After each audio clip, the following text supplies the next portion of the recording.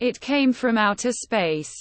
It, in this case a sand-sized bit of a comet nucleus, was likely ejected many years ago from Sun-orbiting comet Swift-Tuttle, but then continued to orbit the Sun alone. When the Earth crossed through this orbit, the piece of comet debris impacted the atmosphere of our fair planet and was seen as a meteor. This meteor deteriorated, causing gases to be emitted that glowed in colors emitted by its component elements. The featured image was taken last week from Castilla-La Mancha, Spain, during the peak night of the Perseids meteor shower. The picturesque meteor streak happened to appear in the only one of 50 frames that also included the Andromeda Galaxy. Stars dot the frame, each much further away than the meteor.